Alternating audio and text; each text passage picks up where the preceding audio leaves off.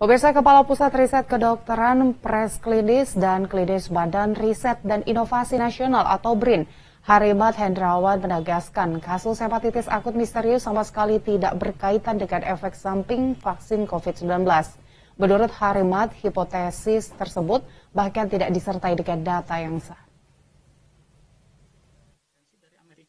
College of Gastro, uh, Gastroenterology. Dugaan vaksin COVID-19 jadi penyebab hepatitis misterius dibantah Kepala Pusat Riset Kedokteran Preklinis dan Klinis Badan Riset dan Inovasi Nasional atau BRIN, Harimat Hendrawan dalam konferensi pers virtual Kamis kemarin.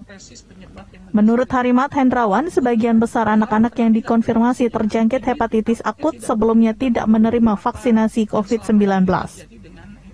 Sebelumnya, Kementerian Kesehatan pun mengeluarkan pernyataan resmi usai kabar ini merebak di media sosial. Kementerian Kesehatan menegaskan kabar vaksin COVID-19 jadi penyebab hepatitis misterius sebagai kabar tidak benar alias hoax. Lebih lanjut, Harimat Hendrawan menambahkan, perlu adanya pengamatan lebih jauh atas kasus-kasus yang terjadi agar penyebab penyakit ini dapat dikonfirmasi dan ditemukan langkah pengendalian serta pencegahan yang lebih spesifik.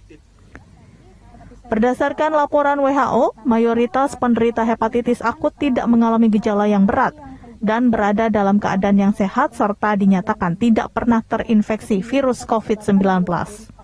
Apakah betul ini kemudian menjadi menjadi salah satu uh, hipotesis? Karena ini juga di oleh beberapa uh, akademisi nampaknya tidak mendukung ke arah sana.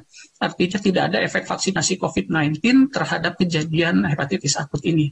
Oleh karena itu memang penyakit ini masih perlu uh, dukungan kita semua untuk bisa menelusuri lebih jauh atau melakukan pengecualian-pengecualian atas infeksi atau faktor non-infeksi lain yang memang berpengaruh terhadap yang kemungkinan berpengaruh terhadap uh, kejadian ini dan ini harus disingkirkan lebih dulu sehingga kemudian kita bisa melakukan terapi yang tepat terhadap kejadian tersebut. Ke depannya, BRIN akan melakukan kegiatan riset terkait penyakit hepatitis akut misterius ini. Nantinya BRIN akan bersinergi dengan Kementerian Kesehatan dan juga perguruan tinggi dan lembaga riset swasta. Indra Bayu Pamungkas, Jak TV.